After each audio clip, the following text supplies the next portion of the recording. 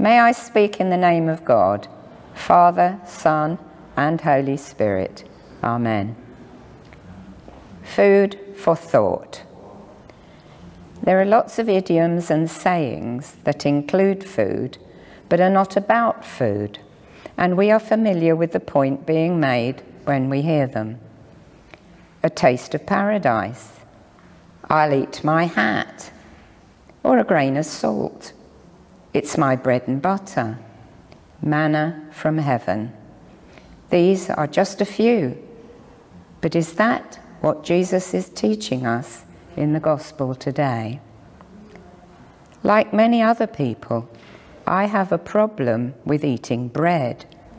Yet, bread remains a staple food across the world and sustains life, especially where there is poverty. We all look for something to energize and satisfy us. We all need bread. But what kind of bread do we need? Of course, we are using bread as a metaphor for what is being eaten in our world today.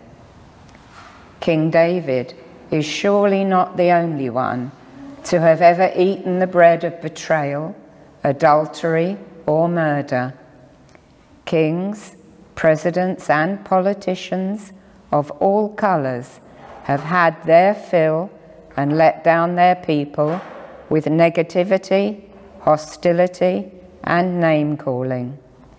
They all eat the bread that objectifies and dehumanizes the other. We eat the bread of me first, of having to be right and get our own way, of power and control. We swallow the bread of hurt feelings and resentment, sometimes causing eating disorders, sometimes eating loneliness and fear, isolation, sorrow or guilt, and sometimes the bread of revenge or of being top dog. Yes, we eat all kinds of bread and what we eat says something about us, our nature, and our appetite. There is bread enough for everyone in our world, and yet there is famine, and far too many go hungry. They go without, empty and searching.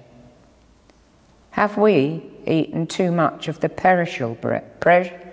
Perishable bread that leaves us wanting only more of the same. Not all bread sustains life. Not all is nutritious.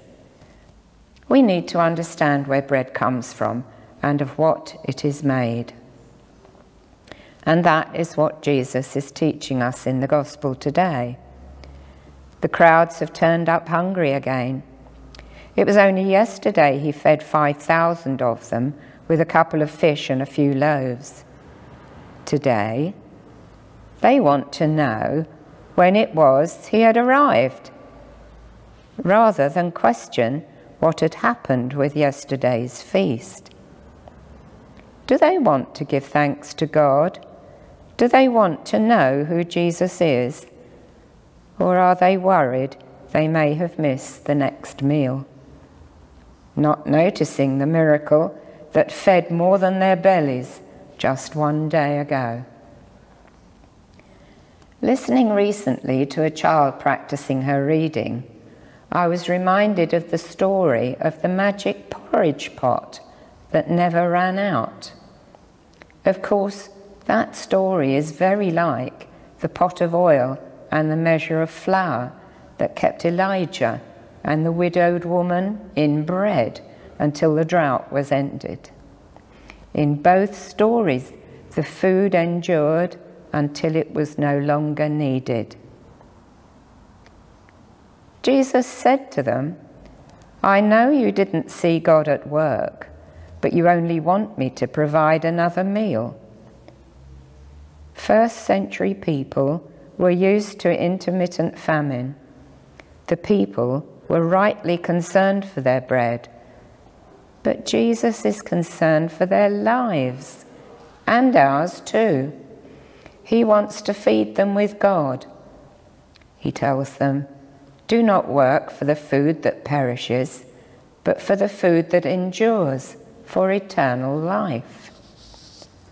What is that food and where does it come from?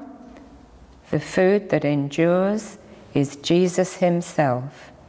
He is the bread that is broken and has been given for the life of the world, broken and never divided, eaten and never exhausted. He is the bread that consecrates or makes holy those who believe in and partake of him. When we believe in Jesus, eating and ingesting him into our lives, we live a new and different life.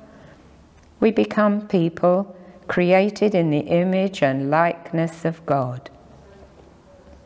As disciples of Christ, we are encouraged to see ourselves and one another as being created in the image and likeness of God.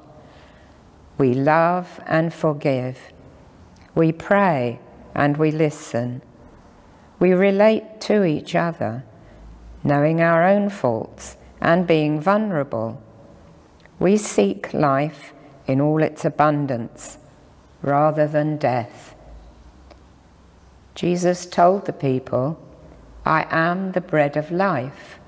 Whoever comes to me will never be hungry, and whoever believes in me will never be thirsty. He offered himself then and now as the imperishable bread that nourishes and sustains an imperishable life. Jesus makes that same offer to and for us in every aspect of our lives now. He offers himself in our relationships, in family, in friendships, with enemies, strangers, those who agree with us and those who disagree.